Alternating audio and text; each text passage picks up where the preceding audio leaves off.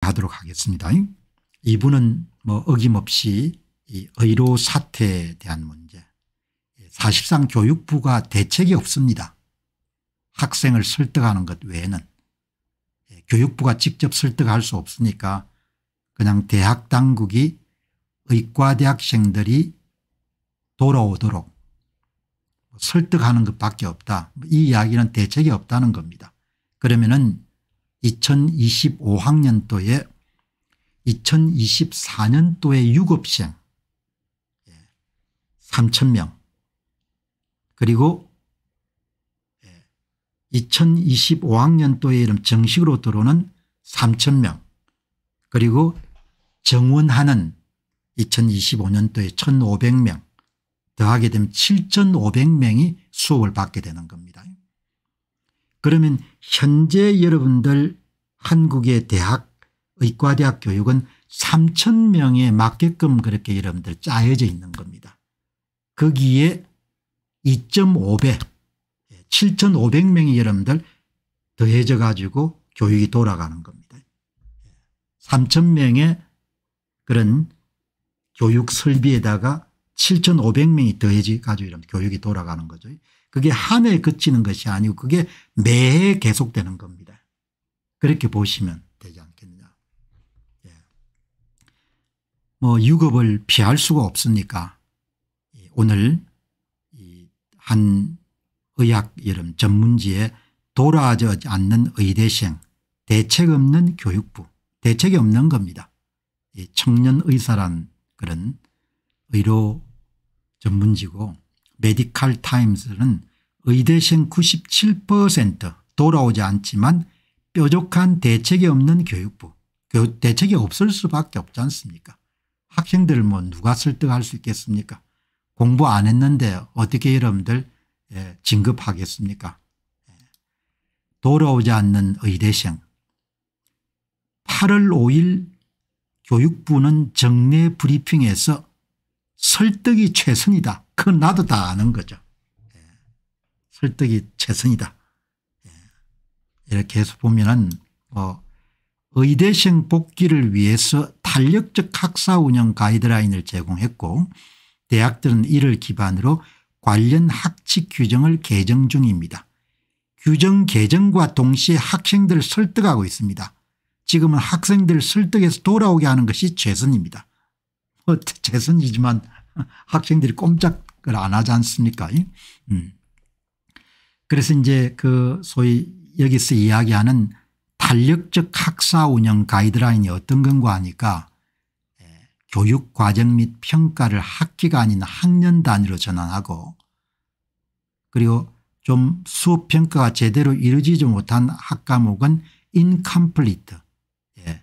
뭐 아이 학점이라는 걸 신설하고 또 다양한 학기제를 운영하고 뭐 이렇게 해가지고 여러분들 해결하는 건데 뭐 아무튼 간에 의대생들이 돌아올 의지가 없으니까 예. 그리고 이제 의과대학이 증가되는 그런 의대에 대해서 의평은 심사를 통과할 수 있을 것인가 뭐 이런 부분에 원론적인 이야기를 했습니다. 예. 의평은 인정은 철저히 준비하고 있으며 오는 9월 달에 의학교육 선진화 방안을 발표할 예정입니다. 의대가 늘어난 정원으로 미인정을 받지 않도록 지원할 것이고 내년 2월 인정 조건을 맞추지 못하더라도 곧바로 미인정되는 것이 아니라 유예기간이 있습니다. 뭐 이렇게 이야기를 했는데 이 청년 의사라는 이 전문지에 의대생들이 많이 보는 것 같아요. 이제 거기에 남긴 의견을 한번 살펴보게 되면 은 대표성은 없지만 젊은 의사분들이 어떻게 여러분들 이 의대생 문제를, 문제를 젊은 의사들과 의, 의사들 후보생들이 예, 이 보시죠. 아직도 교육부는 희망회로만 돌리고 있습니다. 현실을 직시하고 싶지 않은 것입니다. 현실이 너무 비참하거든요. 바보나 하는 짓을 벌리는 교육부 이렇게 비판한 겁니다. 찬성이 66명 반대가 3명인 겁니다. 예, 소아무개 씨는 교육부도 복지부가 쌓아놓은 것을 뒤집어 쓰고 힘들겠지만 올바른 판단을 해야지 나중에 책임을 지지 않을 것입니다.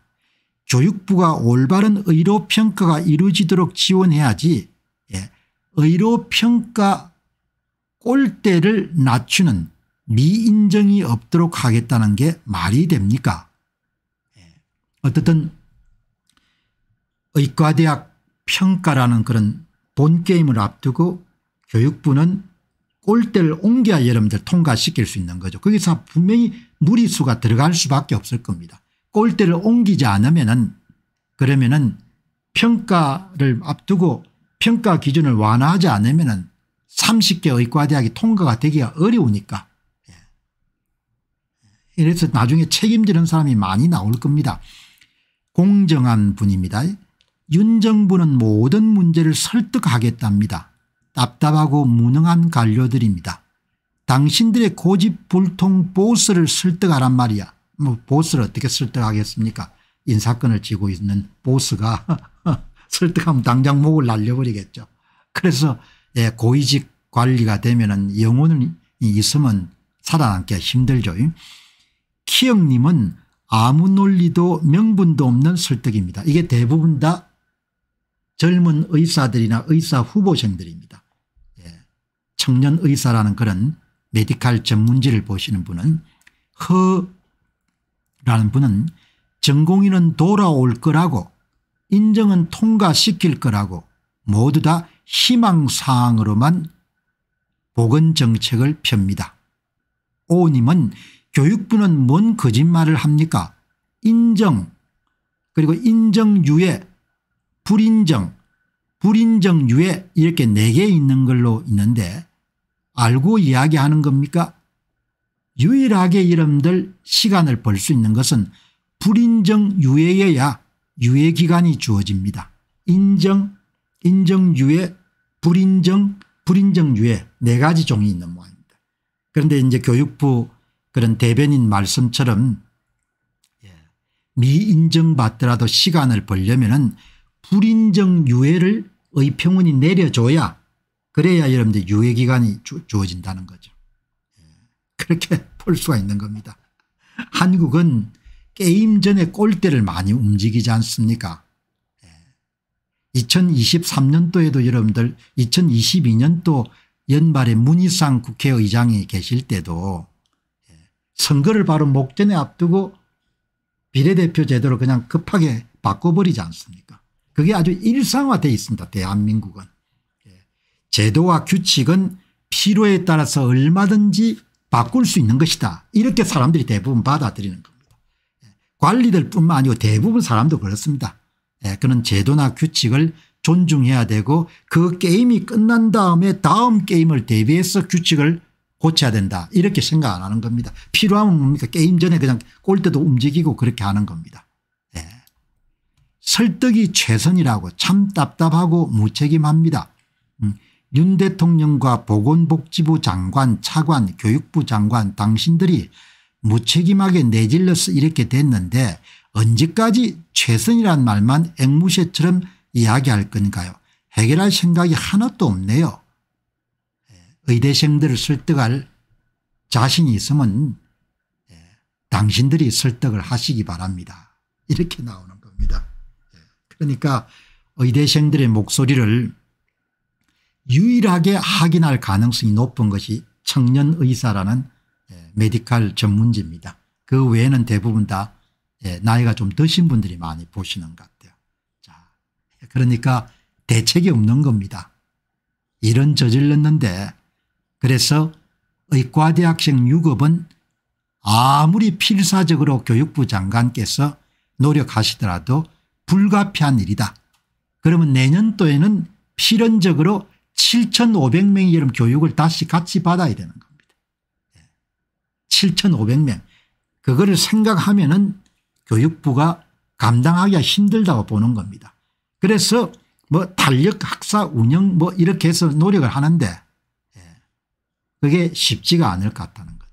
그래서 의과대학 교수들이 훨씬 더 많이 사표를 던질 겁니다.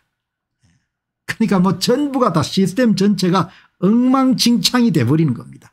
의대 교수들이 예, 지금도 여러분들 로드가 아주 높은 상태일 겁니다. 본인한테 가해지는 노동의 양이라는 것이. 그러니까 3천명 가르치다 여러분들 7,500명 가르치게 되면 은 떠나시는 교수분들이 많을 수밖에 없는. 어제 방송 나가고 나서 현장을 전하신 분 이야기 몇 분 들어보고 다음 주제로 넘어가겠습니다. 예, 제 아들도 외국으로 갈 생각입니다. 선진국 가운데서 민간 의료를 시행하거나 필수 의료가는 많을수록 좋다는 나라들이 우리나라에 속속히 설명회를 오고 있습니다. 싱가폴, 미국, 앞으로 올 나라들은 효주, 뉴질랜드, 대만, 일본도 고심 중인 것으로 알고 있습니다. 관리들은 크게 심각하게 생각 안 했을 겁니다. 관리들은 이렇게 개방된 것을 신문이나 이런 걸 통해서 알지만 본인이 직접 체험해 본 적은 많지 않을 것이기 때문에 지금은 후기 조선시대와 다른 것은 사람들이 떠날 수 있는 겁니다. 한국의 정권시장이 싫으면 미국 정권시장으로 가버리면 되는 것이고 한국의 상속세와 여러분들 정려세가 높으면 은 다른 나라로 그냥 주거지를 옮겨버리면 되는 것이고 젊은 사람들은 더더욱 똑똑하고 여러분들 살아가야 될 세월이 기니까 예, 본인들이 대접받을 수 있는 걸 옮길 수 있는 겁니다. 후기 조선시대는 옮길 수가 없었지 않습니까 그냥 관이 억누르면 꼼짝없이 당했는데 지금 시대가 바뀐 겁니다. 그 시대가 바뀐 것을 이번 정책을 실행하면서 크게 고려하지 않았을 겁니다. 왜 본인들이 익숙한 세상이 아니니까 관리라든지 검사라는 것이 기본적으로 내수 산업이지 않습니까 바깥하고 접촉이 아주 여러분들 낮은 직종입니다. 제 같은 사람만 하더라도 젊은 날 여러분들 밖에 가서 학위를 하고 그다음 귀국했어도 계속 이렇게 이런 바깥 세상을 보지 않습니까 바깥 세상을 보니까 예. 바깥 세상이 어떻게 돌아가는지를 그래도 검사나 관리들보다 빠르죠. 그리고 여러분들 바깥 세상을 왜 이해해야 되냐 바깥 세상을 모르면 망하니까 그런 경험을 한 사람들이 아니거든요. 그냥 내수업종에 종사했던 분들인 겁니다. 사람이 떠날 수 있다는 것을 생각을 별로 못한 겁니다. 이번에도 전혀 고려 안 했을 겁니다. 사람이 떠나는 겁니다.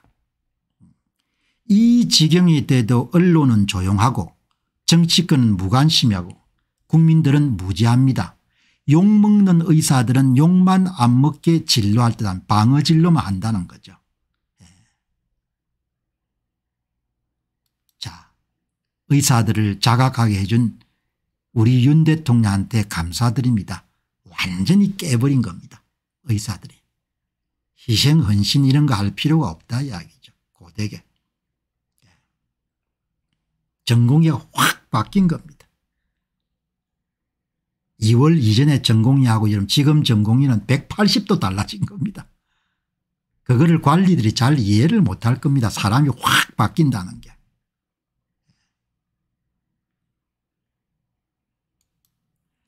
올해 수능 치는 아이 부모입니다. 성적이 되어도 의대를 지원해도 되는 건지 정원이 이득이 아니라 손해일 수도 있다고 생각합니다. 의과대학 가운데 불인정 학교가 어디가 될지 미래 알 수도 없고 혼란스럽습니다. 정부가 이를 무슨 이따위로 하는 건지 이해할 수가 없습니다. 이렇게 나오지 않습니까 네. 휴가 가셨네. 뭐 대통령도 휴가 가야 안 되겠습니까 네. 통령 가셨더구먼요. 대통령도 휴가 가셔야 되니까 얼마나 힘들겠습니까 아이 키우지 않았지 돈을 벌어본 적은 없지. 군대도 안 갔지. 사람을 죄인 취급하는 직업을 오랫동안 가졌지. 사람 진로비가 개 진로비다 싸고 군대는 하극상이고 독재적 발상뿐이에요. 그렇게 이야기하셨네. 그냥 웃고 넘어가시기 바랍니다. 예. 세상에는 읽어서 알 수가 있는 것이 있고 들어서 알 수 있는 것도 있고 또 보면서 배우는 것도 있는데 세상에는 체험하지 않으면 배울 수 없는 게 참 많죠. 예. 체험하지 않으면 부모가 돼보지 않으면 부모 마음을 참 이해하기가 힘들지 않습니까 그거는 뭐 책을 읽어서 배울 수 있는 것이 아니니까 이제 그게 한계가 되는 거죠.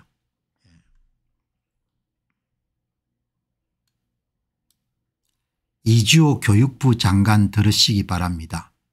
3천명 수용 가능한 강의실에 7,500명 수업이 가능합니까 3천명을 예. 교육시킬 수 있는 시스템에 7,500명 수업, 수업이 가능하냐 예. 이렇게 여러분들 보셔야 되는 거죠. 의사가 여러분 3천명 배출된다는 건 어마어마하게 많네요. 여기 한 분께서 혜야님께서 지금도 의사가 많습니다. 정원 줄여야 됩니다. 그런데 예. 필수 의료과 여러분들 의사가 왜 적습니까 필수 의료과 전공의가 돼가지고 장롱 면허를 갖고 있는 분들이 많지 않습니까 산부인과 여러분들 전문이고 소아청소년과 전문이지만 수가가 워낙 짜니까 진로 행위를 아예 포기해버리거나 아니면 다른 진로과를 여러분들 가서 개원 일을 하시는 분이 많지 않습니까 그지? 예. 그러니까 실상을 정확히 알게 되면 실수를 참 많이 줄일 수가 있는데 의사 수가 부족한 것이 아니라 낮은 수가 때문에 험한 분야에서 일을 하려고 하시는 분이 없다는 거죠. 그 간단한 그런 예, 실상에 대한 이해 부족이 지금처럼 큰 혼란을 낳은 겁니다. 여러분 신경외과 분야만 하더라도 현장에 계신 분들이 윤 대통령께서 좋아하시는 경제협력개발기구 OECD 평균에 비해 가지고 한국이 현저하게 의사 수가 많습니다. 신경외과 의사 흉부외과 의사도 마찬가지입니다. 왜 전공의들을 많이 했기 때문에 전 세대는 전 세대는 고되는 것을 다 견뎌낼 수 있는 힘이 있었습니까 그런데 그 분야에 사람이 배치가 안 되는 겁니다. 왜 배치가 안 되니까 수가가 낮으니까 의료소송이 빈번하니까 예. 산부인과 안 하는 겁니다. 소아청장과 안 하고 흉부외과 안 가는 겁니다. 예. 사람이 부족한 게 아닌 겁니다. 그러니까 이 간단한 예, 수학도 아니고 산수를 그냥 무시하고 문제를 풀었으니까 문제 해답이 엉터리가 될 수밖에 없는 거죠. 예. 자 오늘 방송 보시는 분들 가운데서 음, 좋아요를 한번 함께 눌러주시고 그다음 방송을 좀 봐주시기 바랍니다. 자 이제 그러면 앞으로 어떻게 될 것 같냐 뭐 미래 일이니까 누가 정확히 알겠습니까 그런데 의사들이 가장 크게 걱정합니다. 잘 아는 사람들이 가장 크게 걱정하는.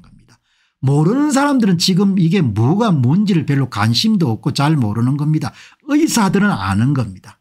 이렇게 가면 은 음? 국민들이 큰 고생을 한다는 것을 아는 겁니다. 예. 오늘도 이 김홍식 예. 배산 메디칼 내과 개원이께서 예. 개원이께서 앞으로 상황이 어떻게 바뀔 것냐 이거를 예. 개원이 입장에서 한번 내다본 겁니다. 예. 예. 혜야님께서 암 환자에 대한 소아청소년과 의사 의사분의 어머니 되시네요. 아주 어려운 분야를 하시네요. 예. 소청가의 소아암들을 담당하시네요. 예. 자, 이 보시죠. 의대 정원을 확정하여 발표했으니 이제 의사들이 뭘 어떻게 하겠으란 식으로 윤 대통령께서는 6월 24일 이후에 입을 다물고 계십니다. 7월 25일에도 발언하셨는데 그거는 뭐 예, 간단하게 그냥 예, 지방자치단체장들 모아놓고 뚜벅뚜벅 가겠다 그런 내용입니다. 윤 대통령과 휘하 보건복지부 장관 차관 교육부 장관을 비롯한 해당 공무원들은 지금의 상황이 어떤 결과로 이어질지 모르는 듯합니다. 결과를 안다면 도저히 지금처럼 행동할 수가 없습니다. 이 김홍식 원장님 말씀은 모르기 때문에 겁이 없다는 겁니다. 그럼 뭐가 진행될지 예, 오랜 30년 정도 여름 개원이 경험을 가지고 이야기해 주겠다는 겁니다. 6월 2일 날 9월 6일 날 의과대학 신입생 수시 모집이 시작됩니다. 의과대학 정원이 실제로 시작됨을 뜻합니다. 의대생들이 내년에도 복귀하지 않을 가능성이 많고 사직 전공의들도 내년 2월 모집에 응하지 않을 가능성이 많습니다. 설령 의과대 학생들이 복귀한다고 해도 문제입니다. 휴학한 1년생과 정원된 신입생을 교육할 인프라가 전혀 안 돼 있습니다. 7,500명이 동시에 수업을 받을 수가 없다는 겁니다. 때문에 복귀가 의미가 없어 복귀를 거부할 가능성도 있습니다. 윤 대통령께서는 그러면 언제까지 거부한단 말인가 싶겠지만 평생 의사로 살게 될 의대생들이 한 해 두 해 공부를 빨리 마치는 것보다 더 중요한 것이 앞으로 본인들이 처하게 될 의료 환경이 훨씬 더 중요합니다. 의과대학 정원이 증가되어 들어올 신입생까지도 정원을 처리하기를 요구할 가능성이 많습니다. 예. 그걸 이제 우려를 하셨네요. 그럼 앞으로 어떤 일이 벌어지겠습니까 몇 년간 의사 수급과 공급입니다. 예. 전문의 수급 공급에 큰 차질이 발생하게 됩니다. 그러면 현재도 필수 의료를 극소수 의사들이 힘들게 유지하고 있는데 진로를 이어줄 후진들이 배출되지 않는다는 것은 젊은 의사들부터 수련병원과 대학병원을 이탈하여 다른 직을 찾아갈 가능성이 높습니다. 이게 이제 무슨 말씀이 든거 하니까 지금 3차 진료기관 대학병원 등을 비롯해 대형 종합병원들에 지금 남아 계시는 의사와 전문의들이 어마어마하게 필요한 상태에 있다는 겁니다. 그런데 우리가 직접 경험해 보지 않았기 때문에 번아웃 이렇게 하면 여러분들 가슴이 안 와닿을 겁니다. 그럼 쉽게 이야기하면 뭐냐 세브란스를 예를 한번 들어보죠. 세브란스의 전공의가 빠졌다는 이야기는 예, 최소 56%에서 80% 의사들이 빠진 겁니다. 예. 전공의들이 초과 근무를 많이 했기 때문에 여러분들 세브란스 병원에 100만큼의 의료진이 있으면 의료진 가운데 최소 56에서 최대 80% 정도가 빠진 겁니다. 예. 그 의료진은 기본적으로 간호사분들은 보조를 하신다 생각하니까 빼고 그러니까 여러분들 보면은 자동차로 따지게 되면은 엔진의 80%가 빠진 겁니다. 80%가 빠진 상태에서 병원이 돌아가야 되는 겁니다.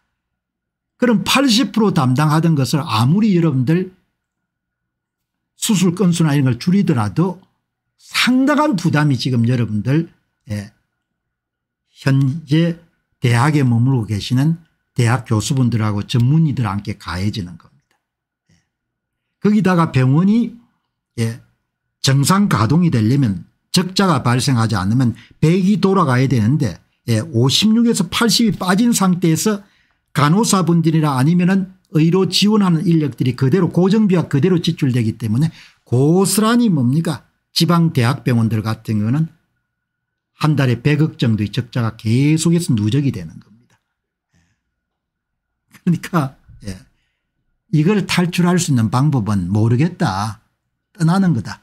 그래서 여러분들 243명 정도가 상반기에 전년도 대학을 떠나셨던 분만큼 여러분들 뭐가 지금 생긴 겁니까 예. 상반기에 대학 교수분들이 그만둔 겁니다. 이거를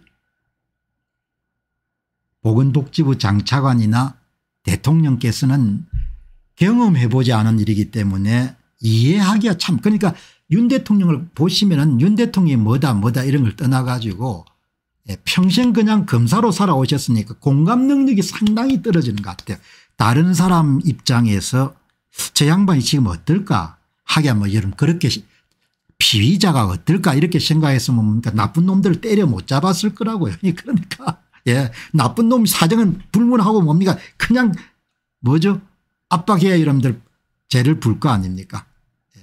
이렇게 이름 돌아가는 겁니다. 분초를 다투는 환자들이 진로 의사를 찾아 헤매다 절명하고 국가는 의료 비상사태를 선언하고 모든 중증 응급 환자를 헬기로 실어 병원 한 곳에 모아 전시체계처럼 운영해야 될 것입니다. 그러면 경무에 시달린 남은 필수 의료 의사마저 떠날 것입니다. 필수 의료는 완전히 막을 내리는 겁니다. 여기 오늘 이 글을 기고하신 김홍식 30년자 내과 개원 의사 선생님이 이야기는 예, 필수 의료가 완전히 예, 종식된다는 겁니다. 그리고 지금 필수 의료를 담당하고 있는 대학 교수들이 엄청나게 많이 대학을 그만두고 떠날 거다는 겁니다. 다르게 얘기하면 수술 못 받는다는 겁니다. 그 이야기인 겁니다. 기본적으로 이야기하게 되면 쉽게 보통 시민들이 그럼 뭔데요 이렇게 하면 한마디로 하면 당신이 수술을 못 받거나 수술을 받게 되는 여러분들 일정이 확실하게 늦어질 거다. 병 안 걸리면 다행인데 병 걸리면 큰일 난다 이야기인 겁니다. 음?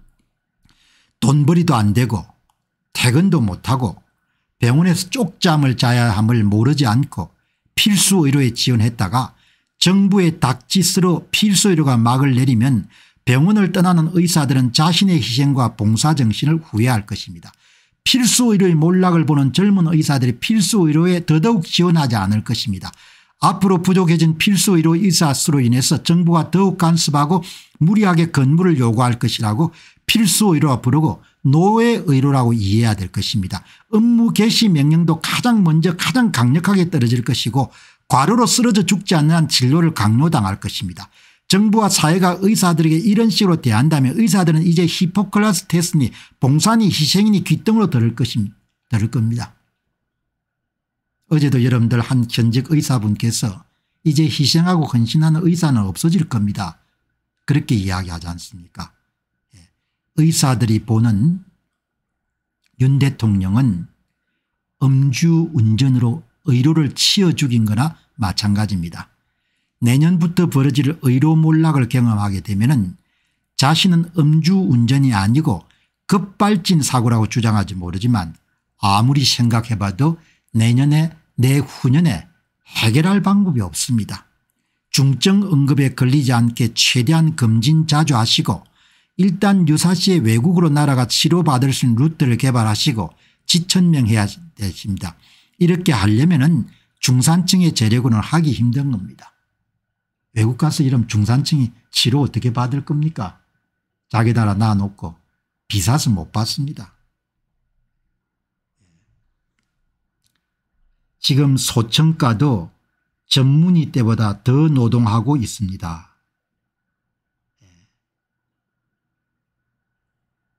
더 노동하고 있던 거죠.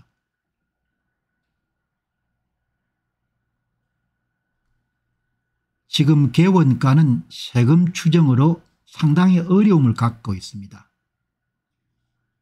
예.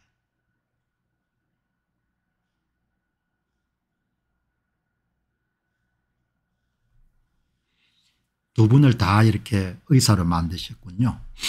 혜야님이. 좋은 나라에 났으면 참 좋았을 건데. 좋은 나라에 났으면 미국은 의사들 얼마나 대접받습니까 어디서 나는가 그렇게 중요하죠. 하긴 뭐 아프리카보다 나으니까 그래도 뭐 고마워할 나라지만 의사, 의사들한테 너무 가혹하죠. 예. 병이 안 걸려야 되는데 병이 뭐 예, 본인이 노력한다고 안 걸릴 수가 있는 건 아니지 않습니까 노력은 해야 되지만 이 땅의 의사들은 면허가 취소될 망정 필수 의료는 하지 않으려고 할 것입니다. 오래전부터 필수 의료는 눈물 접은 빵을 먹으며 힘들게 버텼는데 울고 싶은데 윤 대통령이 뺨을 세게 때렸습니다. 그렇게 해놓고도 자신이 무슨 일을 한지 모릅니다. 이것이 지금 대한민국 대통령의 현실입니다. 이 사회는 돈을 조금 아끼자고 급도 없이 의사들을 너무 배제했습니다. 배려하고 감사해도 시원찮지 않은 판에 대화할 필요조차 없다고 망발했습니다. 의사가 등을 돌리면 죽음의 위기가 닥치는데 몰락의 시작이 2024년 9월 6일 수시 모집이 될 것입니다. 필수 의료가 완전히 무너지고 난 이후에 새로운 의료 포맷이 자리 잡을 때 이 사회가 각성하여 제대로 의사들과 협의하시기를 권합니다. 이게 김홍식 30년차 내과 개원님께서 이 아주 AI도 잘 쓰셔가지고 이 AI의 이런 도움을 받아가지고 예, The Beginning of the Downfall 몰락의 시작 2024년도 September 6 예, 9월 6일 이렇게 예.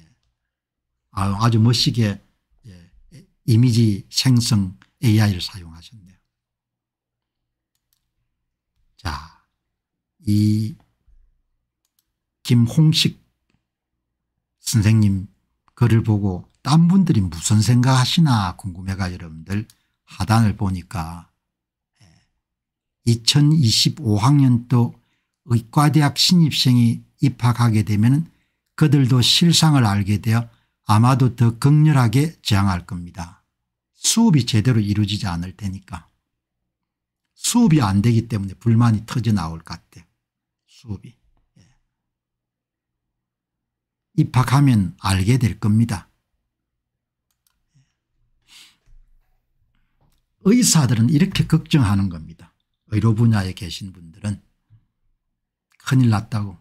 예, 그런데 뭐 다른 사람들은 아직도 욕하시는 분들이 꽤 많으시니까. 예. 여러분 어제 방송 나가고 난 다음에 몇 분이 남긴 글을 예, 저도 이, 이 소위 의견을 통해 가지고 현장을 훨씬 더 생생하게 더 이해하게 된 것 같아요. 썩은 정치인과 국민들의 사탕 발린 포퓰리즘에 대한민국은 망할 수밖에 없을 것 같습니다. 충남권의 최대 대학병원이 망하느냐 흥하느냐 기로에 서 있는데 충남 지역 정치인들과 지역민들이 새로운 대학병원 설립을 위해서 100만 명 서명운동을 벌리고 있습니다. 전남권의 전남대와 조선대 의대생 인원은 인구 비례로 볼 때 부산 권역이나 대구 권역이나 별 차이가 없습니다. 의료가 몰락하는 지역 경제와 인구 소멸의 만병통치약이 되었습니다. 박민수 차관은 전남권 의과대학 설립을 위해 열심히 뛰고 있습니다. 나는 이런 거 보면은 뭐라고 할까 예. 참 대한민국 사람들이 드물구나 생각을 자주 합니다. 예.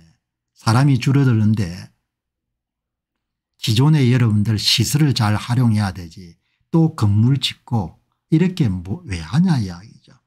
이러니 대한민국의 재정위기를 앞으로 피할 수 있겠냐. 예? 대한민국은 노후가 준비된 퇴직자 신세입니다. 일본은 노후가 준비된 퇴직자 신세이기에 국력은 쇠퇴했지만 그나마 지금이라도 유지하고 있지만 예, 대외 자산이 엄청나게 일본이 많지 않습니까 우리보다 무역을 통해서 돈을 오랫동안 많이 남겼으니까 예. 대한민국은 20년 30년 뒤에 베트남이나 인도시아 수준으로 추월 당할 것이 자명해 보입니다. 뭐 너무 설배할 필요가 없는 거죠. 앞선자가 뒤쓰고 뒤선자가 앞서니까 예. 흥망성쇠란 것이 돌고 도는 거지 않습니까 모든 허물을 차지하고서라도 자식이 없어 미래에 이해관계가 없는 예. 강아지가 자식인 대통령의 존재 자체가 우리에게는 큰 슬픔이자 불행입니다. 국가 지도층의 도덕적 자태가 곧 국민의 도덕적 자태가 된다는 고대 철학자의 고언이 오늘따라 머릿속을 계속 맴듭니다. 조선 말기에 나라야 망하든 말든 자신의 출세와 영달이 최우선순위였던 매국노들과 자녀들을 모두 미국으로 보내놓고 국가의 미래는 안중에도 없이 나라를 떡주무르듯 주무르고 있는 지금의 포퓰리스트 정치인들과 관료들이 너무, 너무 닮아 보입니다. 너무 비극적인 이야기니까 여러분들이 좀 예, 디스카운트 해서 들으시기 바랍니다. 예, 사람이 체험해보지 않으면 참 알기가 힘드니까. 예, 이제 현직 의사분이십니다. 처음부터 원가의 70%에서 건강보험 수가가 정해지고 매년 물가 상승률이 33.5%포인트 예, 그리고 수가 인상률이 1%포인트로 올리고 이게 점점 이제 물가 상승률과 수가 인상률이 간격이 커져 가지고 그 간격을 비보험으로 메우다가 이제 점점 이 비보험으로 못 메우는 그런 과는 경쟁력이 떨어지고 사람이 안 가게 되고 이제 의료 소송 등으로 한계에 이르게 됐습니다. 전형적으로 여러분들 산부인과라든지 소아청소년과라든지 흉부외과 이런 부분들이 포함되지 않습니까 그리고 이번에 의사 정원 증가는 그런 경쟁이 더욱 심해져서 경쟁력 약화된 과는 경쟁력을 완전히 상실하게 이르러서 전공의의 이탈 사태가 일어나게 된 것입니다. 예. 전공의가 떠나게 된 이유가 예. 이제 도저히 이걸 해가지고는 앞으로 살아날 길이 없다고 생각된 겁니다. 의사수를 증가시켜서 뭡니까 예. 사람값을 확 낮춰야겠다고 생각한 걸 보고 만정이 떨어진 겁니다. 음. 의사분이십니다. 의료계는 사회주의가 아니고 공산주의 전체주의식으로 압박당해 온 겁니다. 지난 40년 이상을 무엇이든 적당히 해야 되는 것입니다. 완전히 노예로 만들려고 하면 상대방의 반발이 일어날 수밖에 없습니다. 정부나 국민이 계속 이런 식으로 할 것이기 때문에 앞으로 예, 필수 의료를 선택할 의사는 거의 없을 것입니다. 그래서 제가 좀 냉정하게 이야기하지 않습니까 음? 젊은 의사분들은 앞으로 의료 환경이 크게 나아지지 않을 거다.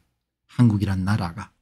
그리고 한국이란 나라는 선거제도가 완전히 뭡니까? 그냥 장악됐기 때문에 예, 그거를 대부분 보는 사람은 많지 않은데 그까지를 다 본인의 의사결정 과정에 넣어가지고 본인의 이번에 아주 좋은 계기니까 잘 생각해서 예, 전공의들은 뭐 의사 라이센스가 있으니까 수련을 다른 데서 또 받을 수가 있는 것이고 의과대학생들은 지금 준비할 수 있는 시간이 있으니까 본인이 행복하게 기량을 발휘하고 그 기량에 대해서 고마워하고 제대로 가격을 치를 수 있는 곳에 머무는 것도 좋은 거다 그렇게 이야기하지 않습니까 예.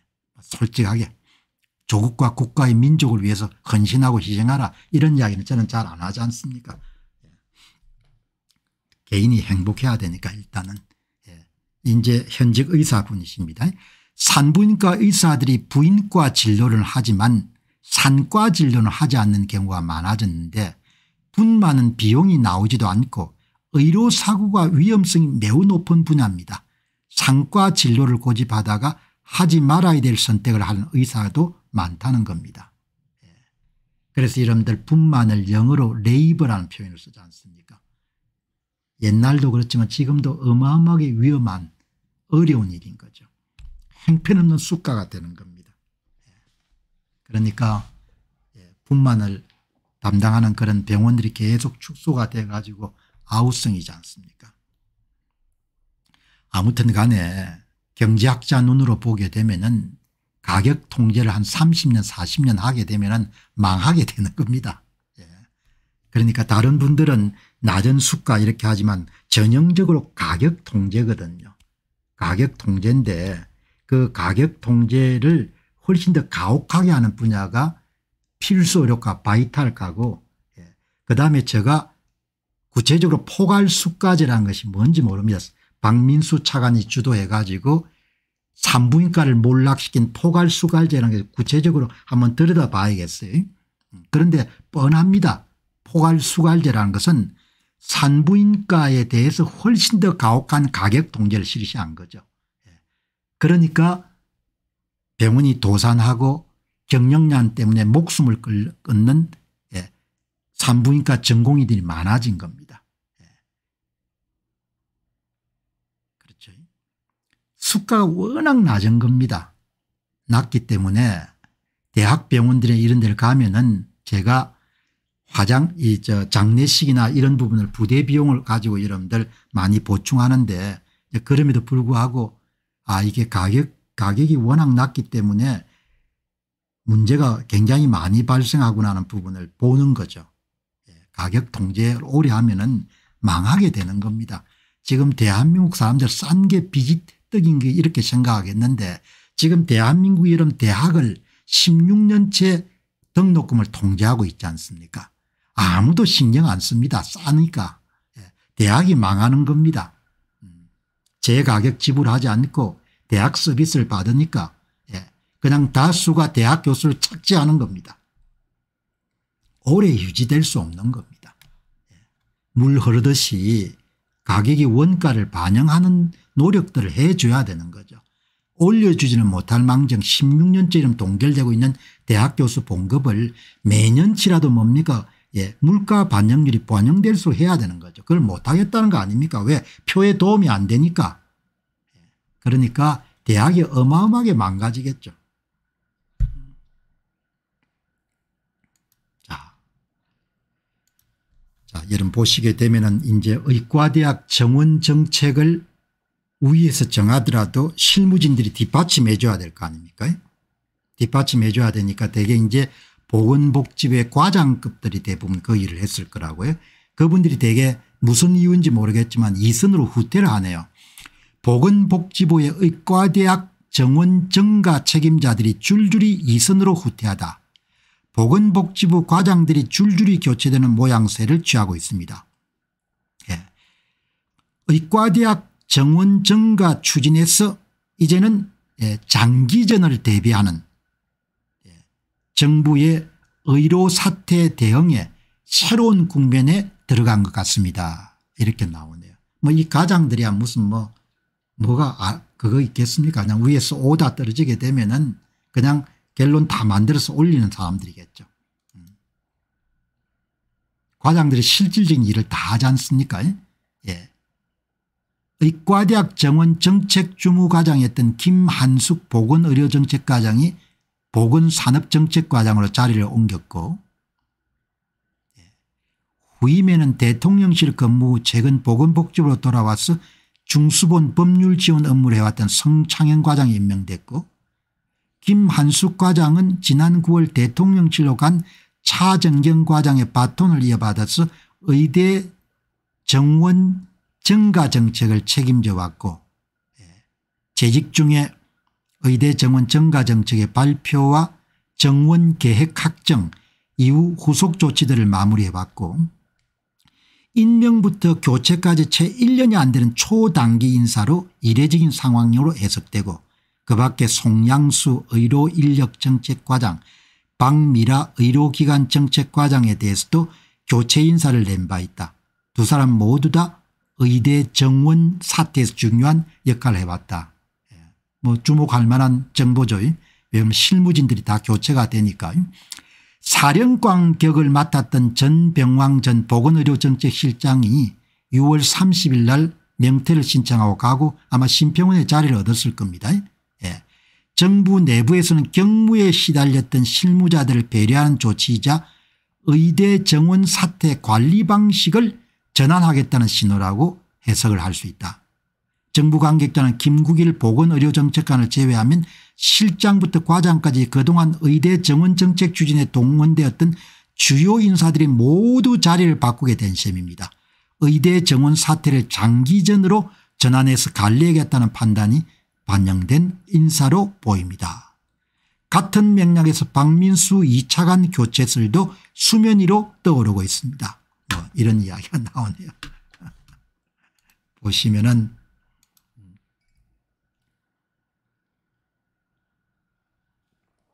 이 사람이 뭐 상식이 다 알 거고 박민수 차관이 이 양반은 뭐 예산통을 하다가 예, 1차관 거쳐가지고 이제 출세를 한 거니까 눈을 씻고 찾아도 없는 2천명 정원 근거 장관이 떠앉았어 제가 했습니다. 이렇게 한 거 아닙니까 전병왕 전임실장 맹퇴 후로 보건의료 정책실장 예, 행정고시 출신들이네. 이 기사를 보고 윤 대통령 치하에서 보건복지부 관료들의 어릿광대 노름을 보면 한편의 블랙 코미디 같습니다. 예. 장기전 소리가 나오는 거 보니 의료 파국까지 쭉 갈 것으로 보입니다. 이선 후퇴를 하든 보직 이동을 하든 의료 파국 나면은 보건복지부의 고위 관료들은 다 책임을 질 수밖에 없는 겁니다. 뭐 끝까지 뭐 가겠다는 거죠. 끝까지 갈 가능성이 매우 높다. 이건 이제 우리가 확인하는 거지 않습니까? 예.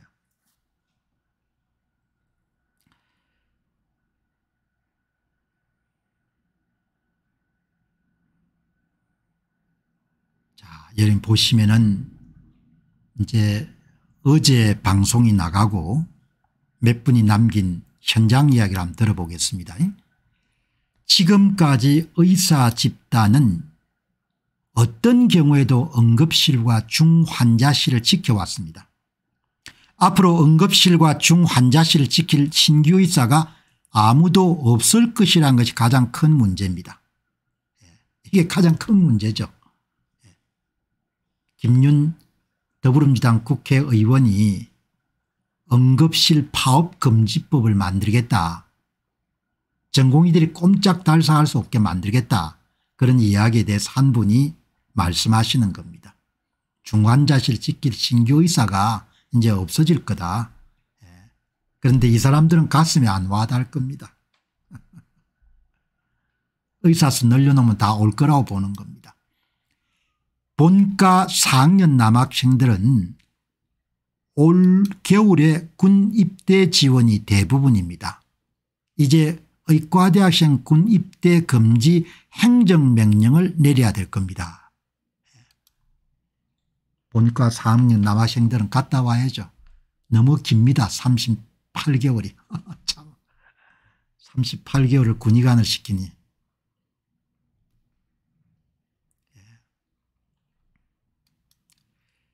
재학생 중 남학생은 이미 봄부터 사병 입대를 지어내 가지고 내년에 예가 2학년 이상이 절반도 안 될 것으로 보입니다. 이 학생들만 남지 않을까 싶은데요. 그 이 학생들도 내년에는 복학하지 않을 것 같습니다. 신입생만 바글바글 할 겁니다. 예, 이게 이제 의료 인력 공급 그런 체계라는 것이 연차가 계속 연결돼서 공급이 돼야 되는 거죠. 예, 그러니까 뭐 전부가 다 뭡니까 엉망진창으로 만들어버린 겁니다. 예. 여기 또 굉장히 중요한 이야기네요. 예가 2학년생들은 절반 정도가 남자들은 빠진다는 이야기지 않습니까 예. 지금까지 의사 집단은 뭐 이해가 되죠. 왜 그런 거 아니까 38개월을 시키니까 군의관을 그리고 38개월 끝나는 게 아니라는 거 아닙니까 38개월 군의관을 마치고 나오면은 그다음에 봉지기를 하게 되면은 그 사이 인터벌이 생기기 때문에 38개월이 될지 42개월이 될지 46개월이 될지 심함이 이름도 48개월이 될지 알 수 없다는 겁니다. 예. 공중보건의가 37개월이니까 마찬가지인 겁니다. 음. 아무도 뭡니까 그냥 젊은 사람들을 그냥 부려먹는데 미안한 마음도 없고 불합리하니까 좀 고쳐야겠다. 일반 평사병이 여러분 육군이 18개월이니까 아무도 케어 안 하는 겁니다. 나는 여러분 이거 보면서 무슨 생각이 드는 거 하니까 예. 이번 사태 의료 사태를 보면서 여러분들은 어떻게 보셨는지 모르겠는데 예. 다양한 각도로 봤겠습니까 저는 예. 참이 나라에서는 누구든지 간에 국민들이 보호를 받지 못한다는 부분에 대단히 좀 실망을 했거든요. 예. 이 관리들이나 이런 사람들은 항상 예, 상대방을 억압하거나 수탈하거나 약탈하거나 강압하는 대상으로 삼는 거죠. 예.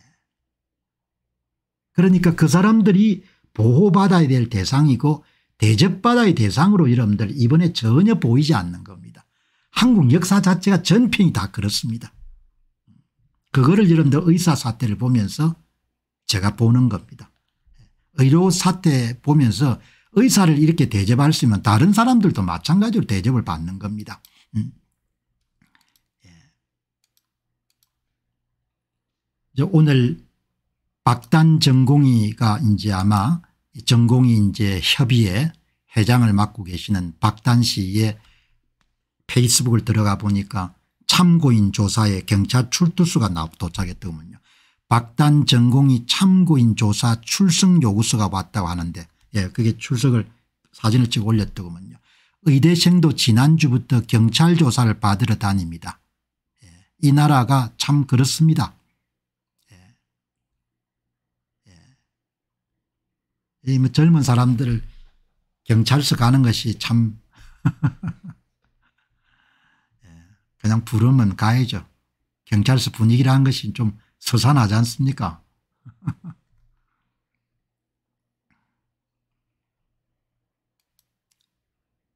이 어제 방송드렸던 닥터 달님은 소아청소년과 대학 교수님이 아니고 개원이 원장님이랍니다. 개원이. 그러니까 닥터 달님은 개원이 원장님으로서 본인이 겪었던 전공의 전문의 시절을 회고해서 예, 그런 도제 시스템이 이렇게 돌아간다 이렇게 말씀하신 겁니다.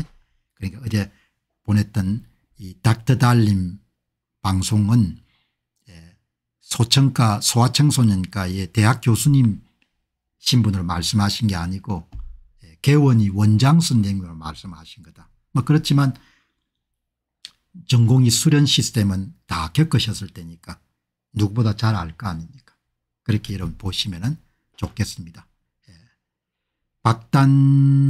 박단 씨를 이제 경찰에 소환을 한 거죠. 경찰이 참고인으로 피의자는 아니고 그렇지만 가면 또뭐 예, 가면 변호사 써야 될 거 아닙니까 예. 변호사 써야 이제 뭐 말 같은데 또 터집 잡히거나 그렇지 않을 테니까 참고인 조사 보면 대부분 다 피, 변호사를 써야 되는 거죠. 예. 다 비용이지 않습니까 그러니까 참고인 조사를 오라 이런 것 자체가 어마어마하게 여러분들 뭐죠 피곤한 일인 거죠.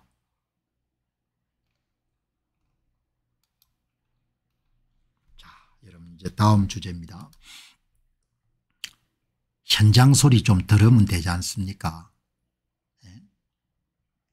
현장에 다 답이 있지 않습니까 제가 여러분들 현장 이야기를 왜 여러분이 자주 소개해 드리는 거 아니까 그냥 이분들 이야기를 듣는 것이 훨씬 더 우리가 더 사태를 정확하게 이해하는 데 도움이 되기 때문이거든요. 의사를 만든 어머니나 아버지 이야기를 듣고 의사분들의 이야기를 듣고 전공의들의 이야기를 들으면 은 직접 여러분들 의료계를 경험해 보지 않더라도 실상을 파악하는데 많은 부분을 도움을 받거든요. 대통령 똑같지 않습니까 지인들 가운데 의사가 있을 거 아니에요. 그분들 이야기 좀 들어보면 되지 않습니까 그분들은 사심이 없을 때니까. 왜 그렇게 고집을 부리냐 이야기예요. 내가 만일 그 자리에 있으면 은 제1차로 했던 것이 아마 친구나 이런 사람들 불러가지고 의료계 이야기를 들었을 것 같거든요. 그것처럼 정확한 방법이 없지 않습니까 여기 지금 대통령께서 휴가를 가셔가지고 예, 윤 대통령 휴가 첫날 통영 중앙시장 방문 통영에는 큰 시, 시장이 두 개가 있습니다. 서울시장이 있고 중앙시장이 있는데 지금 이제 상권이 많이 이동해가 중앙시장이 훨씬 더 이렇게 번화하게 된 거죠. 예. 뭐 이 이렇게 이제 경남신문에서 크게 예, 통영을 자주 가시네요. 이제 이 정치 논평 하시는 유재일 씨, 예, 유재일 씨가 의료 문제에 대해서는 다른 분에 비해서 좀 목소리를 많이 내시죠. 예. 조금 거친 표현이 있기 때문에 조금 지워가지고 그런 아주 핵심을 이야기합니다. 의사 외에 이 문제에 둘째가라면 서러워할 정도로 목소리를 확실하게 내고 정확하게 맥을 잡고 있는 사람 가운데 한 사람이 유재일 평론가죠. 아니 대학 교수들 상황을 파악하라니까 어느 교수입니까 의과대학 교수 상황 좀 파악하세요. 윤 대통령께서는 다른 일들이 많이 바쁘시겠지만 의대 교수 지금 상황을 좀 파악하기 위해서 노력하셔야 됩니다. 의대 교수들이 다 나가버립니다. 이 이야기인 겁니다.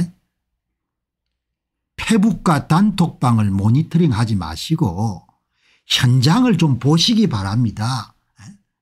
세브란스 의대 상황이 어떤지 차돌리교대 상황이 어떤지 서울대 병원 상황이 어떤지 의과대학 교수한테 좀 물어보시기 바랍니다. 의과대학 교수들이 지금 상황이 어떤지 의과대학 교수 지금 지금 죽을 지경이라는 겁니다.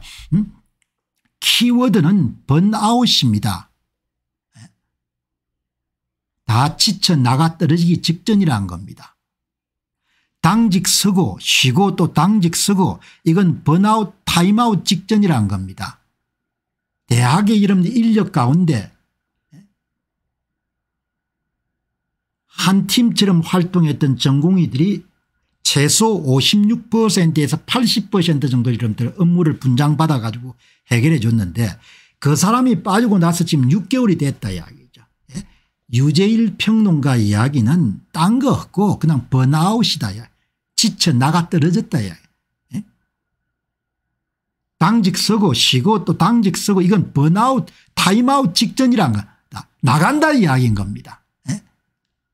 예? 로테이션이 부서지게 되면 은 시스템이 붕괴되는 걸 모르냐 이야기인 겁니다. 표현이 좀 거칠고 그렇지만 직설적으로 이야기하는 겁니다. 예? 프로야구 투수진 붕괴된 팀이 음? 그냥 당신 아는 의대 교수 없어요?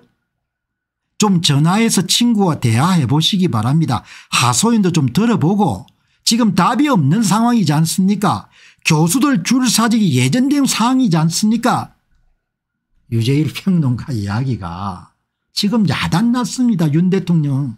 예. 휴가 가서 좀 생각 좀 정리하시고 오러 오시면 은 아니면 휴가 가서 좀 전화 다 되니까 주변에 좀 아는 사람들 아니면 옛날에 친하게 되는 이런 검, 검찰에 검사의 여러분들 뭐죠 예 무슨 뭐 동서가 있든지 음? 동생이 있든지 의사들 예, 의과대학 의사들한테 여러분들 이야기 좀 들어보라는 이야기입니다. 이야기를 관료들 보고만 받지 마시고 대통령께서는 이야기를 들어보시라는 겁니다. 예, 공병호 TV에서 계속 이야기한 게 뭡니까 다른 사람이 하는 이야기를 소개하죠. 내가 잘 모르니까. 예? 아는 교수 없어요? 좀 전화해서 친구 대화해 보시기 바랍니다. 하소연도 보고 답이 지금 없는 상황이지 않습니까 교수들이 줄사직합니다. 이거지 않습니까 내가 이런 방송하다 보니까 저도 예, 좀 웃습네요. 아 세상에 그렇게 쉬운 건데 아니 대통령이 전화를 해가지고 이야기 좀 들읍시다 이렇게 하면 뭡니까 다 일어서서 이야기해 줄 건데 예? 서울의 모처에서 한번 여러분들 오셔가 이야기 좀 들려주시기 바랍니다. 예. 불이 나기 이러면 다 달려올 건데 시스템의 전면적 붕괴 직전이지 않습니까 예? 의료 시스템이 붕괴가 되는 겁니다. 윤 대통령께서 여러분들 아셔야 됩니다. 보건복지부 어? 관리들이 뭘 보고하는지 모르겠는데 그런 사람 말고 친구 형제 자매 삼촌 동생 뭐라도 인맥을 동원해 가지고 대통령이 보자고 하면 여러분들 다 오지 않습니까 예? 담담한 일상 이야기를 들어보시기 바랍니다. 지금 어떻게 상황이 전개가 되고 있는지 총리실 대통령실 당 어디 한 곳이라도 길을 여시기 바랍니다. 보수의 총체적 공멸의 타이머가 켜진 것이라고 봅니다.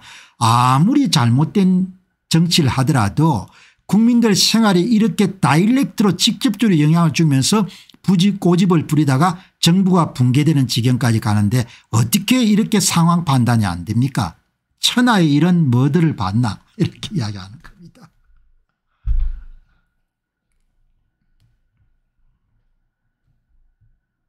사람들이 이야기를 들어야 되죠. 특히 제3차 진료기관 예, 중증 희귀질환을 많이 치료하는 한국 의료의 최후의 이름들 보루인 대학병원의 교수분들의 아우성을 들으시기 바랍니다. 예, 그분들 진짜 제가 볼 때는 예, 막판까지 몰린 겁니다. 성명서를 비롯해서 모든 걸 다 한 겁니다. 빅식스 이름들 비상대책협의회의 교수 명의로 성명서도 수없이 이런 발표를 하고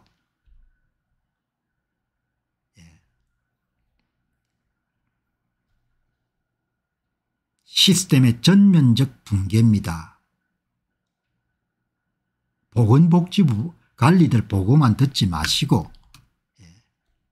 이거를 무슨 의견을 남겼는가 보니까 이거를 보고 유재일 평론가 이야기를 보고 그냥 중환 응급환자 노령 환자는 그냥 관두라는 것이 나라님 뜻입니까 교수들이 번아웃 됐으면 탈진되는 것은 내가 알 바 아니고 복지부 사람들은 대통령에 보고하는 순간 사표를 내야 될 테니까 목숨 걸고 숨기려고 할 테고 대통령이 잘못하면 가지 않습니까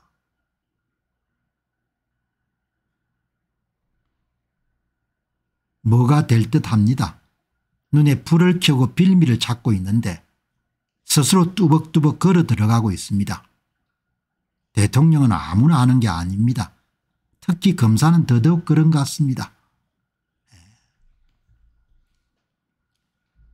상황 판단이 안 되면은 이제 화를 자초할 수밖에 없는 거지 않습니까? 예. 여러분 이 이야기 이 유재일 평론가에서 이야기하는 교수들이 붕괴가 되게 됐다 이 이야기를 또 이렇게 이야기하지 않습니까? 현직의 응급센터 근무 중인 응급의학과 전문의께서 예, 완전 시스템이 붕괴되기 직전입니다. 정부는 답이 없는데 사실 백지화 하더라도 붕괴가 된 걸로 봐야 됩니다. 이런 이야기가 나오지 않습니까 완전히 시각이 다르잖아요. 유재일 평론가가 대학을 조명하는 거하고 가장 여러분 의료 일선에 최여름 일선에 있는 응급실 센터의 전문의께서 보시는 거하고 일치하지 않습니까 보는 게 서로 여러분들 배경도 다르고 다 연배도 다르고 종사하는 분야도 다르지만 다 다르지 않습니까 예? 여기 응급의학과 의사분이잖아요. 전문의가 아니고 예? 대학 이름들 제대로 못 돌아간다는 거 아닙니까 그래서 그 부하가 2차 진로기관으로 계속 밀려온다는 거 아닙니까 응? 119 신고해봐야 전원할 대학병원이 없다는 거 아닙니까? 경남에서 전라도나 경기도로 이런 전원을 시켜야 된다는 거 아닙니까? 다룰 수 없는 환자는. 그리고 코로나가 늘어난다는 거 아닙니까? 지금은 확실히 살아남을 사람만 치료해야 되니까 알아서 다 건강 유지하시게 노력하시라는 거 아닙니까 2차 병원에 이름 계시는 최일선에게는 응급의학과 선생님 이야기나 전문의 이야기가 시스템이 붕괴가 되고 있다는 거 아닙니까 예. 이분들은 의사니까 그래 의사가 그렇게 하면 뭐 의사들이 무슨 속셈이 있는 모양이다. 그럼 유재희 씨는 의사가 아니잖아요. 응? 지금 키워드가 뭐라고 하는 겁니까 대학병원에 이런 교수들이 다 맛이 가게 생겼다는 거 아닙니까 시스템이 전면적 풍격이니까 제발 윤 대통령께서는 지인들을 동원해 가지고 대통령이 보자고 하면 여러분들 얼마나 뛰어올 사람이 많을 테니까 실상 한번 들어봐라 이야기.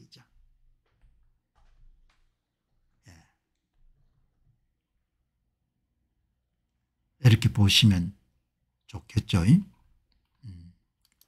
여기 예.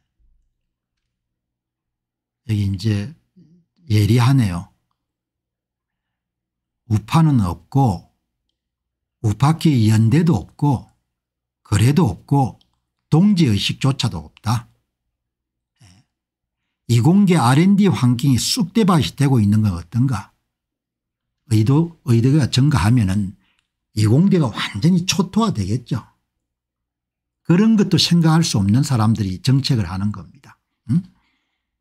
기본적으로 20대 중후반의 젊은 엘리트들을 몸과 마음을 갈아 넣어 유지되던 대한민국의 의과대학과 공과대학의 퍼포먼스가 부서지는 이 상황 이게 자익과 우익을 떠나 나라 망할 일인데 죄는 그렇다 자는 그렇다 치더라도 우는 이게 뭐하는 짓인가 이미 선거 넘어갔을 때 끝난 겁니다.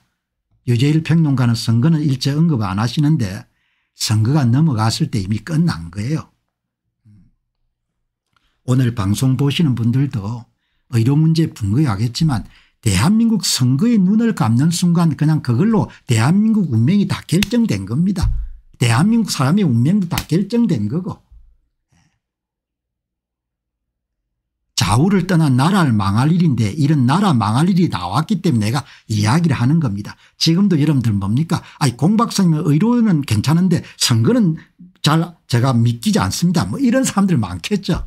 미, 믿지 마시기 바랍니다. 마지막 골로 갔을 때 여러분들 아따 그때 공 박사가 그렇게 외치던 것을 우리가 관심 가져야 되는데 예. 그 여기 나오지 않습니까 유재일 님도 부정선거 부정합니다. 온전한 사람을 만나기 힘든 겁니다. 그러나 유재일 평론가의 의로 논평은 제가 높게 평가하기 좀 소개하는 겁니다. 예. 이게 좌우를 떠난 나라 망할 일 나라 망할 일이 이미 끝장 다 난 겁니다. 결론이. 예. 나라 망할 일은 다 끝난 겁니다. 내가 솔직하게 까놓고 이야기하는 겁니다. 예. 의료가 뭐고 그 사람들 집권하면 훨씬 더 악화되겠죠. 예. 공공의료 쪽으로 안 가겠습니까 예. 이 똑똑한 국민들이 뭐 완전히 내가 볼 때는 무슨 뭐 뭘 잘못 먹었는지 예. 그냥 그렇게 넘어가는 겁니다.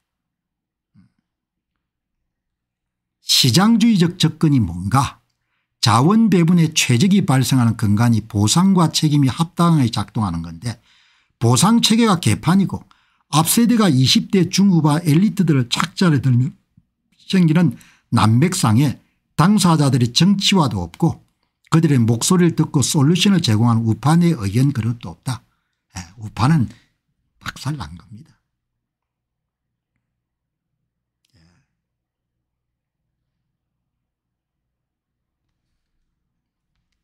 거짓과 정직함을 상실해 가지고 그 비용을 어마어마하게 치르게 되는 거지 않습니까 예.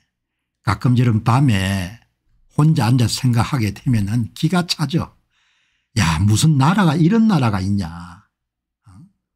2천 명을 증가시키는데 예. 이렇게 무지막지하게 정원의 60%를 증가시키는 나라가 그러고 10년째 선거가 망가졌는데 대통령이야 모두가 입을 다물고 마치 아무 일도 없는 것처럼 보지 않은 것처럼 이런 나라가 어디 있냐. 당신들 그 거짓과 위선과 사기 때문에 자식들을 그냥 불구덩이 속에 집어넣는 거다. 그런 이야기가 절로 나오는데 자주 이야기 안 하지 않습니까 제가 가끔 이야기하지 않습니까 음. 자 여러분 오늘 이제 방송 보면서 어제 방송 나가고 나서 3년차 4년차 전공의들이 나가면서 아예 의국이 소아청소년과 의국 흉부외과 의국이 폭파된 곳이 많습니다. 예. 여러분들 이런 게 현장 이야기거든요. 딱 한 문장만 보더라도 뭡니까 예. 의료계 정통한 분이거든요. 정말 의료사 때는 회복 불가능합니다.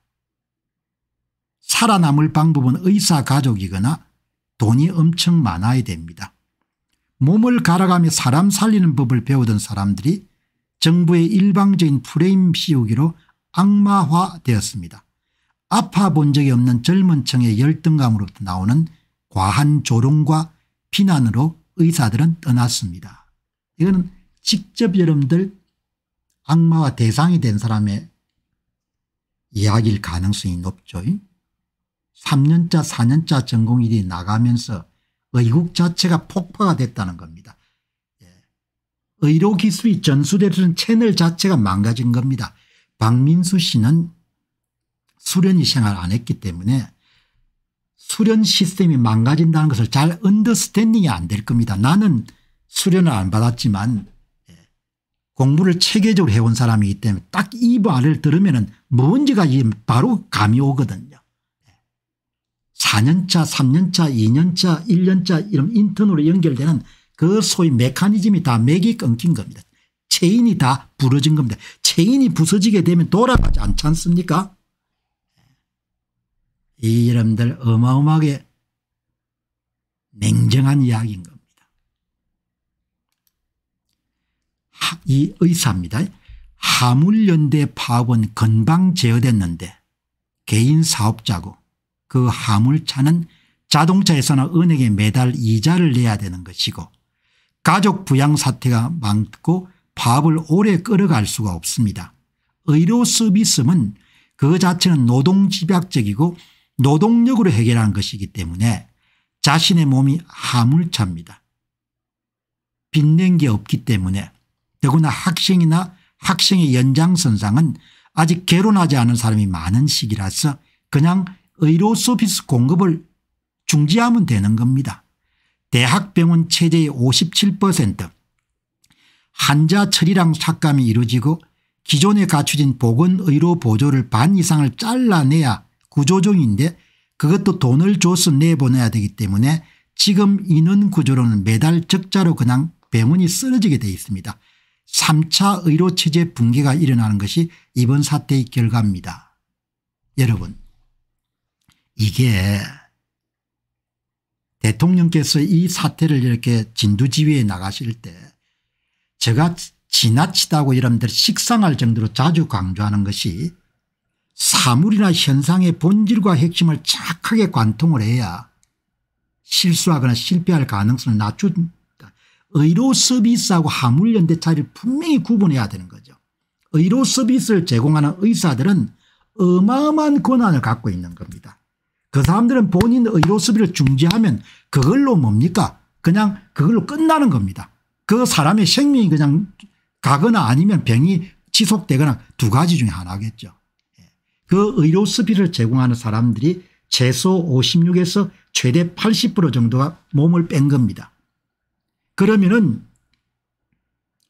회사가 여러분들 병원이 풀 가동되기 위해서 100%가 있어야 되는데 그중에 80%가 여러분들 나가게 되면은 그걸 뒷받침하는 간호사 업무를 담당하시거나 또 의료 보조 업무를 하시거나 이런 분들은 백이 유지가 될 거 아닙니까 그 고정 비용은 계속 여러분들 발생하게 되는데 의사가 빠져가 수술 건수가 줄고 외래 여러분들 환자 수가 줄어들게 되면 그만큼 여러분 뭐가 발생하는 겁니까 감소한 만큼 적자 그대로 누적이 되는 겁니다.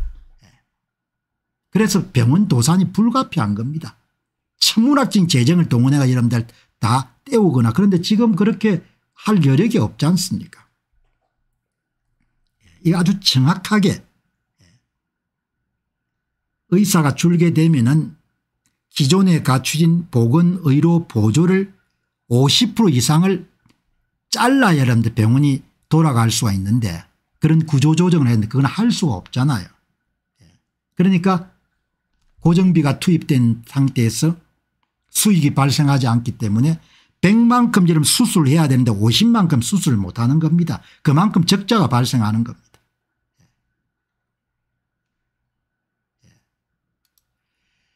전격적으로 의과대학 2천명을 정원하겠다는 윤 대통령의 의료정책 추진은 의료 공급 체계를 무너뜨리고 결국 1만 3천 명의 전공의들 돌아오지 않아 국민들과 병원 파산으로 그중에 바이탈 분야 전공의들 외과 분야 수술할 의사들이 없어지면 호흡기과 내과 환자들의 폐암 수술과 소화기과 환자의 위암 수술은 누가 담당하겠습니까 이것으로 인한 환자들 국민의 생명이 희생되는 중대 사태를 맞이하게 될 것입니다.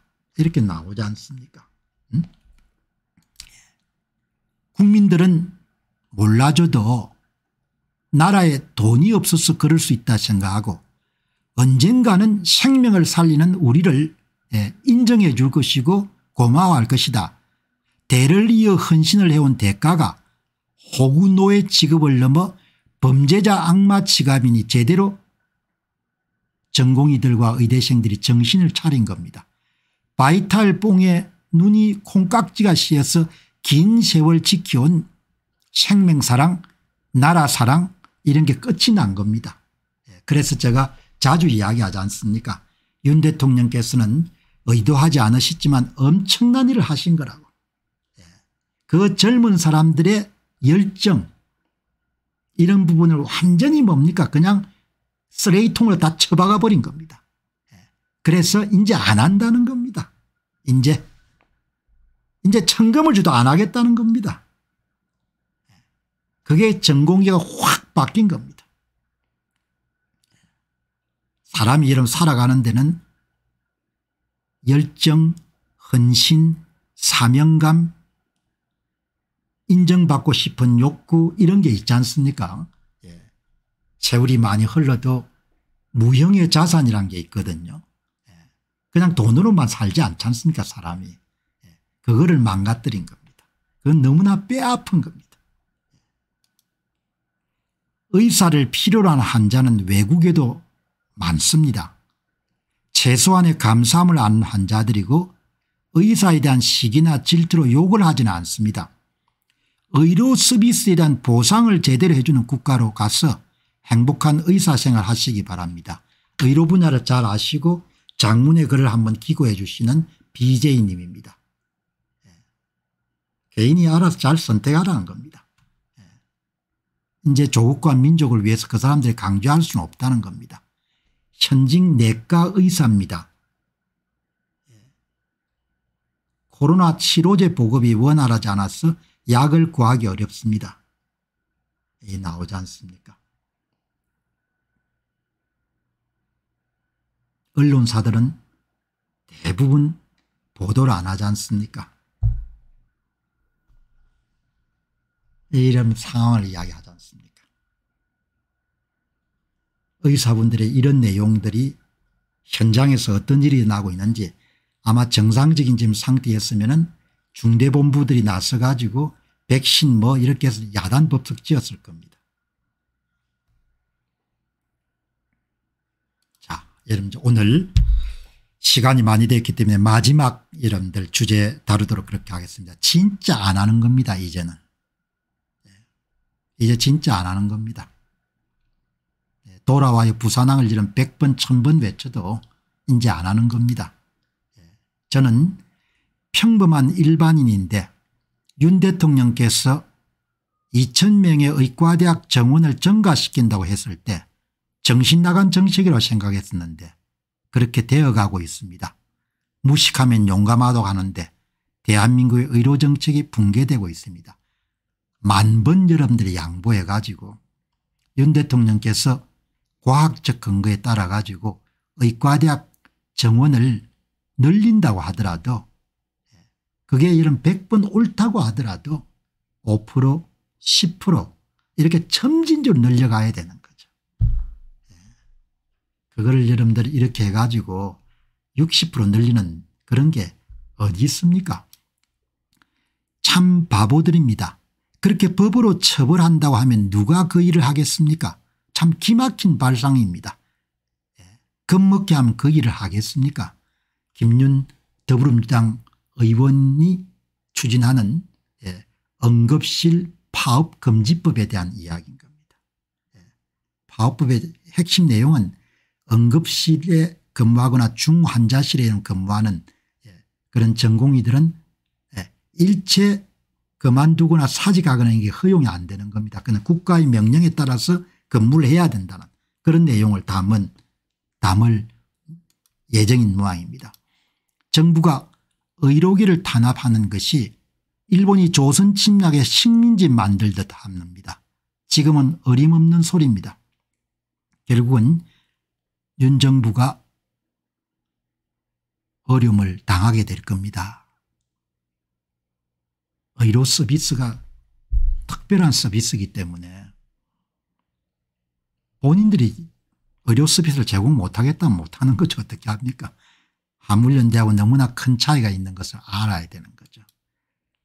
이제 지금 공보이들이 차출돼 가지고 시골에 이런 공보이들이 근무를 못하는 모양입니다. 보건소 같은데 시골 농촌 오지에서부터 돌멩이를 던지고 있는 중인데 도시로 확산 중입니다. 예, 공보이가 차출이 돼 가지고 보도가 지금 나오기 시작했지 않습니까 공보위가 이런 잠시 자리를 벌리는 것이 아니고 의료 사태가 6개월 7개월 계속되니까 보건소 이름들 의사가 6개월 7개월 자리를 비운 겁니다. 거기에 대한 불만이 지금 일어나고 있는 겁니다. 제가 이해가 안 가는 게 좌파도 아닌데 왜 이 정부가 의료는 가장 강력한 사회주의와 전체주의적 정치를 하는지 도무지 모르겠습니다.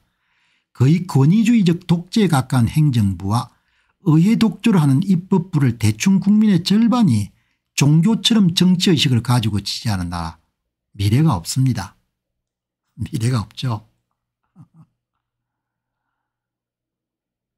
선거가 무너졌는데 다 덮는 나라가 돼버린 겁니다. 선거할 필요가 없죠. 몇 사람 앉아 이러면 결정하면 되는 거지. 그것이 분노하는 사람도 드뭅니다.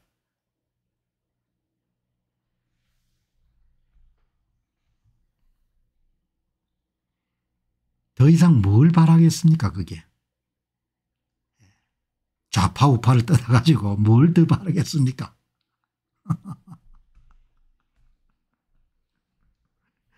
좌파 우파는 여러분들 그냥 예, 그냥 장식용이고 예, 나라가 그 지경까지 간 겁니다. 아무도 슬퍼하지도 않고 걱정도 없는 겁니다. 잘 될 거니까 잘 되기는 뭐가 되겠습니까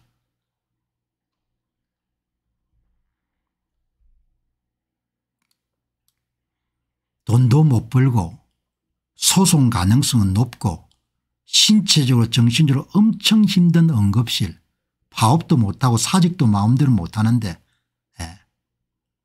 그죠 모든 게 다 법으로 하면 되는 줄 아는 모양이에요.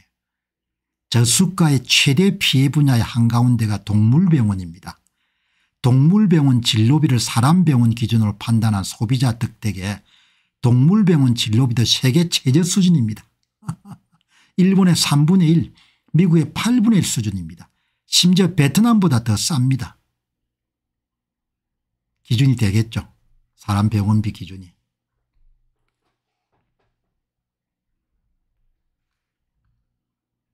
새로운 사실을 알았네요. 예, 현직 의사분이십니다. 인간이 어떻게 이다지도 악할 수가 있겠습니까 40년 이상 원가도 안 되는 수가에 온갖 욕을 먹어가면서 국민들에게 세계 최고 의료 서비스를 제공해 왔는데 민주주의 국가에서 개인의 자유를 저렇게 깔아뭉개려고 덤비는지 원 파렴치하고 악하고 뻔뻔하고 답이 없네요. 이제 필수 의료는 아무도 안 할 겁니다.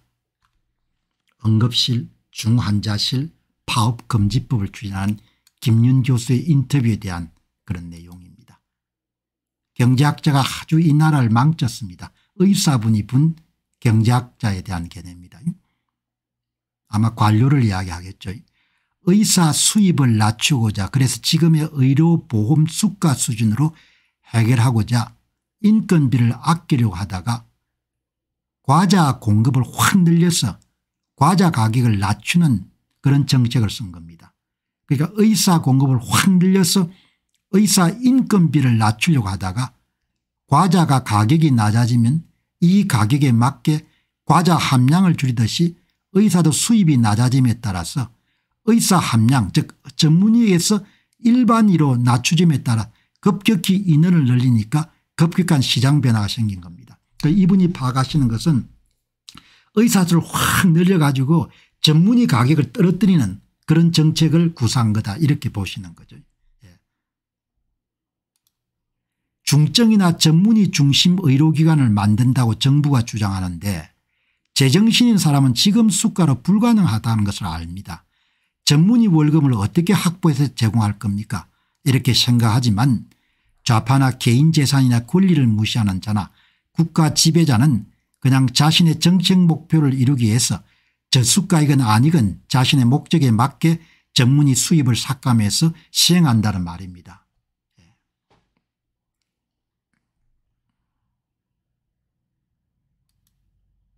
자 여기 보시면은 요양병원에는 네. 의료계에 아쉬운 소리를 해야 되니까 그냥 입을 다물고 있는 모양입니다. 이렇게 이야기하네요. 제가 아는 이 현직 의사분입니다. 어떤 선배 의사는 지역 병원을 인수해서 운영을 했는데 환자도 많고 수술도 많았는데 적자가 계속 되었다고 합니다. 예, 어마어마한 적자가 쌓일 수밖에 없죠. 얼마 전에 진주 의료원 사례가 있었지 않습니까 환자가 없어서 운영이 안 된 것이 아니고 환자가 많은데도 적자에서 결국은 도산하였고 아버지에게서 많은 유산도 꽤 받았는데 재산을 다 날리고 견디고 견디다 하지 말아야 될 선택을 하고 떠났습니다. 참 마음이 따뜻한 의사였는데 환자가 많은데 일을 열심히 하는데 적자를 벗어날 수 없던 이유가 무엇이겠습니까 필수 의료 외에 매출을 일으키지 못하면 아무리 열심히 일을 해도 적자가 난다면 이 나라가 그 의사를 잡은 것 아니겠습니까 최근 대학병원에 전임 일을 하고 나온 외과의사의 말을 들어보니까 대학병원 외과가 매일 10시 11시 돼야 일이 끝난다고 합니다. 전공의 전임의에 저임금을 갈아 넣어도 적자이니까 밤 늦게까지 수술을 해야 적자를 벗어나니까 그렇게 한 것입니다. 낮에 수술한 것으로 수입이 돼야 되는 것 아닙니까 그런 상태에서 전공의가 빠져나가니까 의사일계 60% 정도가 빠진 것이니 마찬가지입니다. 착취하는 나라 한수만 나옵니다. 가격 통제의 끝은 예, 몰락인 겁니다. 오늘 이 방송을 보시는 분들 가운데서 예, 왜 당신이 그렇게 나서 가지고 다른 방송들은 다 입을 다무는데 왜 그 이야기를 하느냐 그렇게 생각하시는 분도 계시고 어떤 분들은 당신 아들 딸이 의사냐 뭐 이런 이야기도 하겠습니까 의사 아들 딸은 없고 예, 제가 비겁하지 않기 때문에 이야기를 하는 거죠. 그리고 나라 앞날을 생각하기 때문에 이런 이야기를 하는 겁니다. 이거는 왜 내가 이런 선거를 4년간 다뤘겠습니까 선거를 다루면서 얼마나 이런 피해가 많았습니까 채널이 얼마나 여러분들 뭡니까 타격을 받았습니까 예. 선거의 침묵함으로 대한민국은 간 겁니다. 시, 여러분들이 실망이 안 실감이 안 날 겁니다. 하늘나라로 간 겁니다. 이 문제는 더욱더 높은 하늘나라로 가게 만드는 일인 겁니다. 그리고 이거는 너무나 제 눈에는 복합적인 겁니다. 가격 통제를 통해서 한 산업을 완전히 망가뜨리는 일이고 전공의와 의대생과 같은 그런 젊은 의사를 착취하는 구조를 여러분들 지속하려고 하는 한 걸음 더 나아가서 개인의 기본권과 개인의 선택과 개인의 자유를 이렇게 뭐죠 자유민주공화국으로 표방한 나라에서 공권적인 무자백을 실행할 수 있는 부분에 대해서 너무나 딱하게 생각하기 때문에 이야기를 하는 겁니다. 여기 보시기 바랍니다. 예. 이렇게 가면은 유지가 될 수가 없는 겁니다. 그럼 이게 이제 의료 분야에 그치겠냐 그렇지 않습니다. 이게 이제는 사기업도 여러분들 가겠죠. 왜 지금 뭐죠 올해만 하더라도 24번이나 여러분들 식품업체가 이런 가격 못 올리게 한 거 아닙니까 예. 그래서 지금 좌파 정권이 등장하게 되면 가격 통제를 하겠죠. 예. 물 여러분들 가격을 인상 요인을 반영하는 가격 책정을 못하게 할 겁니다. 그게 나라 전체 이름 암세표처럼 퍼지겠죠. 그래서 나라가 골로 가는 겁니다. 완전히. 예. 대학의 이름 16년째 등록금처럼 인상을 여러분들 묶어놓은 상태 그게 뭘 이야기하느냐? 그것에 분노를 못 느끼는 사람 같으면 아니 공박사님 공박사님 아들이 대학 교수입니까? 왜 그렇게 이름도 대학 교수 봉급이 문제가 있다고 그렇게 이야기합니까? 그런 생각을 가지니까 그런 생각을 가지니까 가는 길이 저는 그냥 뭡니까? 그냥 뻔히 보입니다. 나라가 어디로 지금 가고 있는지가. 그냥 그대로 보입니다 그냥 예. 다들 뭐죠 어우 뭐 그냥 좋은 나라 잘 나는 뭐 이렇게 생각하겠죠. 내, 내하고 는 관계없으니까 의사가 뭐 죽어 나가든 내하고 무슨 관계가 있나 이렇게 생각하시면 더 많을 겁니다. 예, 그러니까 예, 수술해 줄 의사가 없어지면 그때 이제 깨우치겠죠. 사람이 대부분 그러니까. 예, 여기 어마어마하게 중요한 메시지를 담고 있지 않습니까 가격 통제를 하게 되면 한 산업이 완전히 망하는 겁니다. 그것도 이런 모자라 가지고 외과 의사들이 이런 대학병원에서 예, 밤 늦은 시간까지 수술해야 되는 상황이 나온 거지 않습니까 이게 갖고 있는 문제점을 대부분은 가격이 싸니까 예, 별로 생각 안 할 겁니다. 그래서 그냥 가는 겁니다. 대한민국 대학이 16년째 여러분들 가격 통제를 되는데 아마 해부해 보면 엉망진창일 겁니다.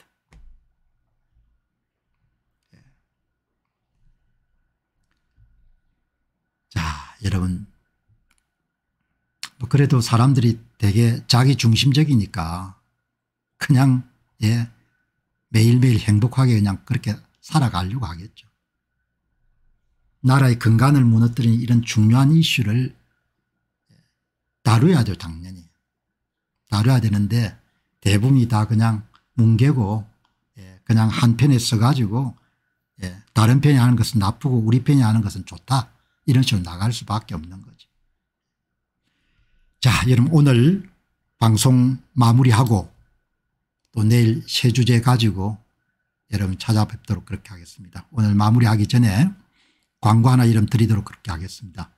제가 집필한 애리조나 답사기 예. 미국의 남서부죠.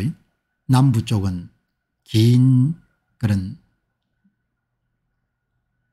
멕시코하고 접경돼 있고 그, 그곳은 이제 풍광도 아름답지만 세도나가 있죠 이쪽에 그리고 또 애리조나 북부에는 예, 그런 그랜드 캐년 남쪽 예, 그랜드 캐년이 있고 하니까 한국 분들이 많이 찾는 곳이죠.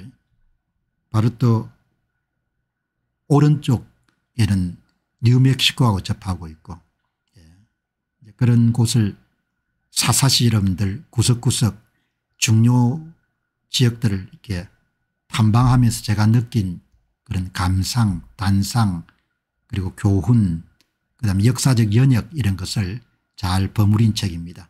책 좋아하신 분들 한번 도전해 보시기를 권합니다. 자 여러분들 오늘 방송 마무리하고 또 내일 새 주제 가지고 찾아뵙도록 하겠습니다. 고맙습니다. 수고하셨습니다.